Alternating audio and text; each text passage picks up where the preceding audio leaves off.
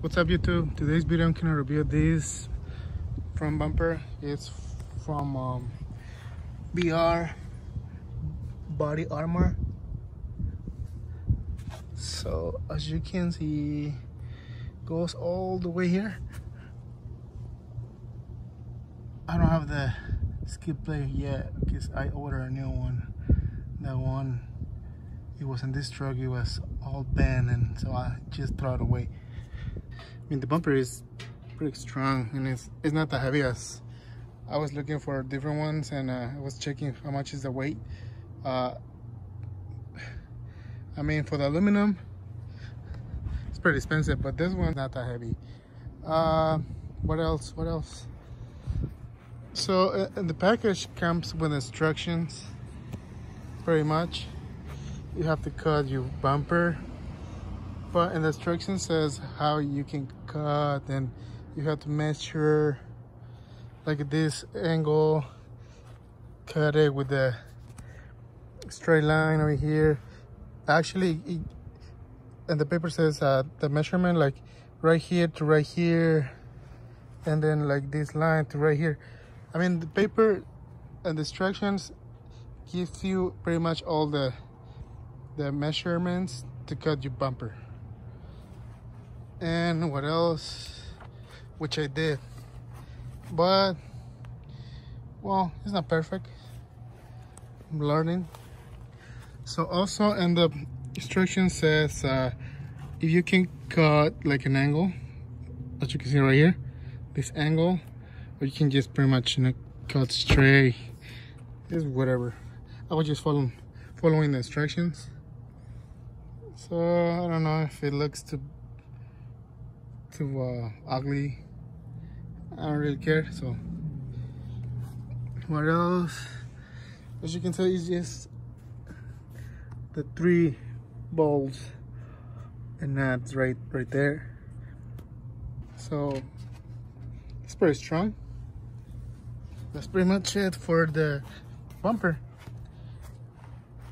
For you light bar, this is the space for the for the light bar it's 30 inches which is pretty decent. If you wanna go buy uh, any kind of brand Rigid, Bajas or Chinese I don't know. So whatever you can afford right? But this gap I don't know what is this for.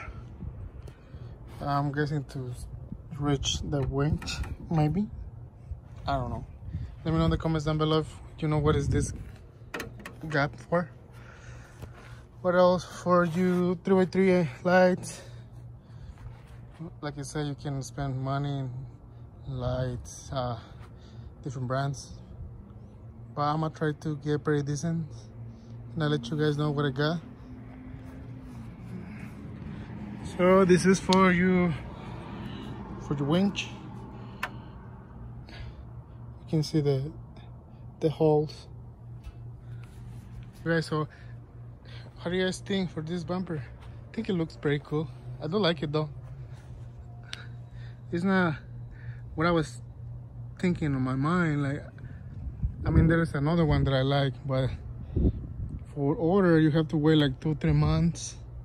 And they're, they're way more expensive than this one. Like a 1005, 1008, 2000.